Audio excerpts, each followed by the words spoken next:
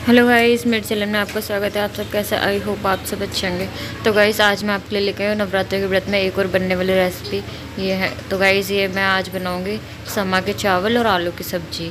तो गाइस, ये नवरात्रि के व्रत में खाने में बहुत अच्छे लगते हैं और सबको बहुत अच्छे लगते हैं। और अगर आप भी, अगर कुट्टू की पूड़ी खा खा के बोर हो गए तो एक बार ये चावल ज़रूर बनाना, समा के चावल। तो गाइस, ये व्रत में खा सकते हैं नवरात्रों के व्रत में। और इसके साथ मैं बनाऊँगी आलू की सब्ज़ी और ये मैंने दही ले लिया है। तो गाइस इसकी रेसिपी को पूरा देखने के लिए वीडियो को पूरा देखें। वीडियो अच्छी लगी तो वीडियो पर लाइक शेयर कमेंट करें। चैनल पर नया चैनल को सब्सक्राइब करें। तो गाइस चलो फिर बनाना स्टार्ट करते हैं। चावल बनाने के लिए सबसे पहले हम कढ़ाई में ऑयल डालेंगे। ये चावल मैं रिफाइंड में ही बना रही हूँ। अगर आप देसी घी में बनाना चाहते हो बना सकते हो। तो वैसे कल का जो बच जाता है बर्थ वाला रिफाइंड वो यूज़ कर रही हूँ मैं।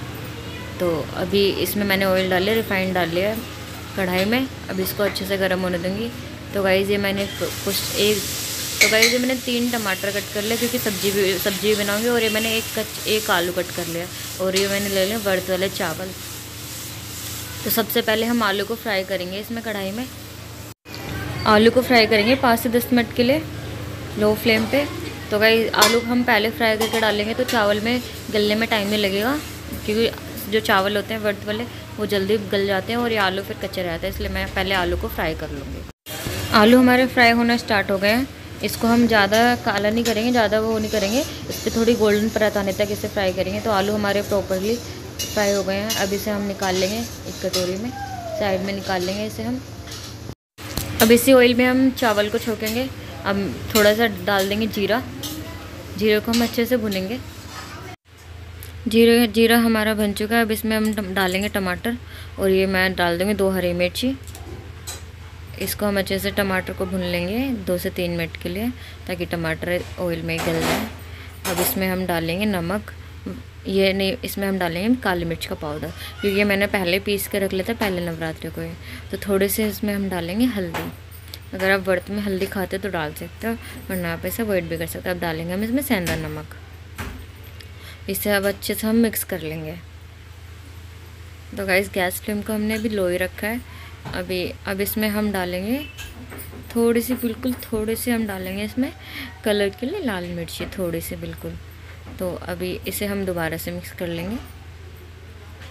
कि बर्त में तीखा खाना नहीं खाते ना तो गाइस इसलिए अगर आप मिर्ची खाते हो तो खा, डाल सकते हो ना वरना आप इसे अवॉइड भी कर सकते हो। अब जो हमने आलू फ्राई करे थे, वो डाल देंगे इसमें। कि आलू मैंने पहले ही फ्राई कर लिए थे क्योंकि चावल तो जल्दी बन जाते हैं, आलू को गलने में टाइम लगता है। आलू को मैंने एक आलू लिया था बस और ये आधा कटोरी के करीब मैंने चावल लिया है तो आप अपनी क्वांटिटी का अकॉर्डिंग लें। तो गाइज़ मैंने नमक वगैरह भी इसी के अकॉर्डिंग डाला है। आप जितना जितनी क्वांटिटी लेते हो, आप उसके अकॉर्डिंग नमक मसाला डालें इसमें। तो अब इसे हम अच्छे से कर लेंगे मिक्स तो गाइज़ इसमें हम एक छोटा गिलास पानी ऐड करेंगे अब। तो अब इसमें अब छोटा गिलास पानी ऐड करेंगे। तो गाइस पानी भी नाप के डालें, क्योंकि ज़्यादा पानी लग जाएगा तो चावल अजीब से ज़्यादा और कुक हो सकते हैं तो इसलिए। तो गाइस जितने क्वान्टिटी ले रहे हो, आप उतना ही उसी के अकॉर्डिंग पानी ऐड करो। और ये हमने एक छोटा गिलास पानी ऐड करा है। तो पानी छोड़ के अब इसे हम ऐसे ही पाँच मिनट के लिए ढक देंगे। फिर पाँच मिनट बाद हम इसे चेक करेंगे। तो वैसे पाँच मिनट हो गए हैं। ये हमारे चावल आप देख सकते हैं हाफ़ कुक हो चुके हैं। और इसे मैं बीच बीच में चला भी लो फ्लेम पे पकाया तो गैस मैंने इसे। तो आप देख सकते हैं अभी इसे, अभी दो तीन मिनट और पकाना है लो फ्लेम पर तो अभी इसे हम ढक देंगे दो तीन मिनट के लिए। तो गैस चावल एकदम बनकर तैयार है। टोटल इसमें लगे हैं आठ मिनट। तो अब इस पर हम थोड़ा सा डाल लेंगे ऊपर से हरा धनिया। तो आठ मिनट में हमारे चावल एकदम बनकर तैयार है और ये देखने में बहुत ही अम्मी लग रहा है। तो गाइस नवरात्र में अगर आप रोज़ कुट्टू की पूड़ी खा के या सिंगाड़े के या आटे के पूड़ी वगैरह खा के बोर हो जाते तो एक बार ये व्रत वाले चावल ज़रूर बना के देखें।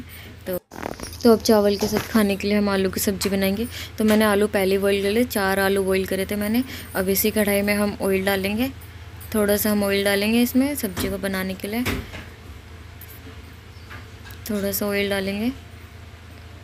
तो कई जो मैं डेली इसमें पूड़ियाँ वगैरह तलती तो मैं ऑयल अलग रख देती हूँ। तो इसमें मैं डेली अपने वर्थ का खाना बना रही हूँ। तो कई वही मैं आपको दिखा रही हूँ। तो अब इसमें डालेंगे थोड़ा सा जीरा। जीरे को अच्छे से भून लेंगे तब तक जी, जी ताकि जीरे का फ्लेवर पूरा सब्ज़ी में आ जाए। तो जीरा हमारा भुन के तैयार हो चुका है। अब जो मैं एक टमाटर बचा था तो अब एक टमाटर हम इसमें डाल देंगे सब्ज़ी में और टमाटर को हम अच्छे से भून तो अब इसमें हम दो हरी मिर्च कट करके डाल देंगे। अब इसे हम अच्छे से ऑयल में भून लेंगे कलछी से चला लेंगे। तो क्या गैस फ्लेम को लो रख लेना लो कर लेना वरना ऑयल के छींटे आ सकते हैं हाथ पे। अब इसमें हम डालेंगे थोड़ी सी हल्दी। आधे चम्मच से भी छो, छोटी चम्मच से छोटी चम्मच से नाप के डालिए। तो गई इसे थोड़ी सी लाल मिर्च डालिए। अब डालेंगे हम इसमें वर्त का नमक। तो अब इसमें डालेंगे काली मिर्च का पाउडर तो ये मैंने पहले पीस लिया था, मैंने पहले नवरात्रों को पीस लिया था। आधा चम्मच ये डाला है मैंने, अब आधा चम्मच के करीब डालेंगे नमक। तो कैसे मसाले आप जितनी सब्ज़ी बना रहे हो उसके अकॉर्डिंग डालें और नाप के तो अभी इसे हम मिक्स कर लेंगे अच्छे से। हम चावल के साथ ये सब्ज़ी खाने में अच्छी लगती है, क्योंकि चावल सूखे सूखे खाए नहीं जाते तो इसलिए एक बार ये आलू के साथ ज़रूर बना के देखिए चावल। अगर आपको वैसे पसंद है तो आप वैसे भी खा सकते हो, वरना आप इस सब्ज़ी के साथ भी बना के खा सकते हो। तो गैस अभी हम टमाटर को अच्छे से गलने देंगे दो से तीन मिनट के लिए। टमाटर हमारे अच्छे से गल चुके हैं। अब इसमें जो हमने आलू बॉइल करे थे, वो डालेंगे हम इसमें।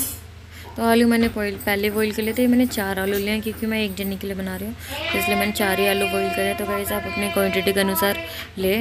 अब इसे हम अच्छे से मिक्स कर लेंगे, टमाटर की जो ग्रेवी बनाई है, इसे हम अच्छे से मिक्स कर लेंगे। तो गाइज़ एक ही एक ही गिलास इसमें हम पानी ऐड करेंगे। जो मैंने चावल में ऐड करा था, उतना ही पानी हम इसमें ऐड करेंगे। तो गाइज़ आप इसे सब्ज़ी को गाढ़ा पतला आप अपने अकॉर्डिंग कर सकते हैं। इसे हम अब ऐसे ही मिक्स कर लेंगे, सब्ज़ी को अच्छे से।